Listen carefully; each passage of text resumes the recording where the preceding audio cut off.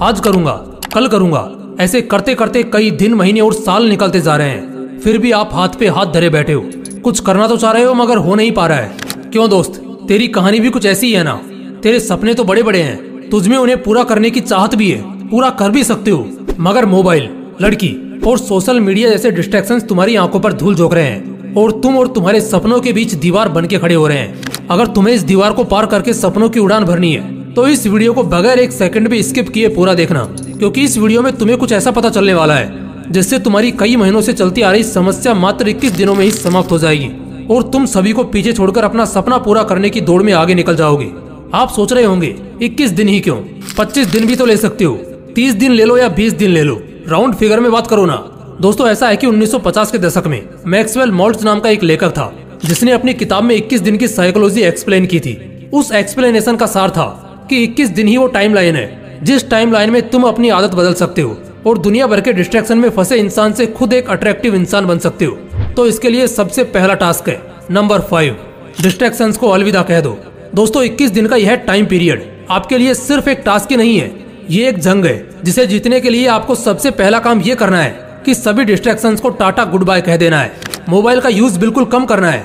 कम से मेरा मतलब है, आप मोबाइल तभी यूज़ करोगे जब आपको उसकी सबसे ज़्यादा ज़रूरत है, और उससे भी पहले आप एक काम करो, अपने मोबाइल से इंस्टाग्राम और फेसबुक जैसी सभी तरह की सोशल मीडिया एप्स को डिलीट कर दो, ताकि बाँस भी नहीं रहेगा और डिस्ट्रैक्ट करने वाली बांसुरी भी नहीं बजेगी। दोस्तों, ये सोशल मीडिया डिस्ट्रैक्शन ही है, जिसने आपको सपनों की उड़ान भरने से रोक रखा है, आपको जकड़ रखा है। इस जकड़ से अगर बाहर निकलना है ना तो इस जकड़ को तोड़ना होगा। मानता हूँ कि ये आपके लिए आसान नहीं होगा। बार बार मोबाइल की ओर हाथ जाएगा, पर आपको आपकी विल पावर के दम पर उसे जाने से रोकना है। बस 21 दिन उसे रोक के रखो और 21 दिन बाद रिज़ल्ट देखो। Number four wake up early in the morning आपको हँसी आ रही होगी कि सपना पूरा करने के लिए सुबह चार बजे उठने की क्या ज़रूरत है है ना? इसी हँसी के साथ आपको यही सवाल स्टीव जॉब से पूछना चाहिए, क्योंकि जब तक वो ज़िंदा रहे, वो इसी टाइम पर उठते थे। यही सवाल आपको दुनिया को योग और ज्ञान का पाठ पढ़ाने वाले गुरु और हमारे देश के प्रधानमंत्री से पूछना चाहिए, क्योंकि ये लोग भी इसी टाइम को the perfect time of success कहते हैं। चार बजे उठने का मतलब यह नहीं है कि आप बहुत एक्टिव हो। इसका मतलब यह भी होता है कि आप अपने सपने, अपने गोल को अचीव करने की होड़ में फुल्ली फोकस्ड हो सर्दी के दिनों में जब चद्दर से निकलने का बिल्कुल भी मन नहीं करता, तब भी अपनी विल पावर की क्षमता को जानकर वही इंसान उस टाइम पर उठ सकता है, जिसकी जिद ज्वालामुखी के समान हो। खुद से वादा करो कि 21 दिन के इस सफ़र में आप किसी भी हालत में हर दिन सुबह चार बजे उठोगे नंबर थ्री फिटनेस पर ध्यान दो। आपको एक किस्सा बताता हूँ। एक इंसान था। उसका बचपन से एक सपना था कि एक दिन वो एक ऐसा मुकाम हासिल करेगा जहाँ उसे बैठे बैठे सब मिलेगा। वो फुल ऐसो आराम की ज़िंदगी जिएगा।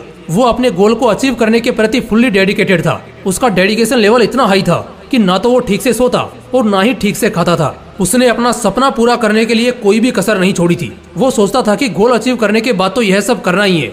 अपने इसी डेडिकेशन, अपनी इसी खून पसीना एक कर देने वाली मेहनत के दम पर उसने वो मुकाम हासिल भी कर लिया। अब उसके पास वो सब कुछ था, जिसे पाने के उसने सपने देखे थे। लेकिन एक दिन कुछ ऐसा हुआ।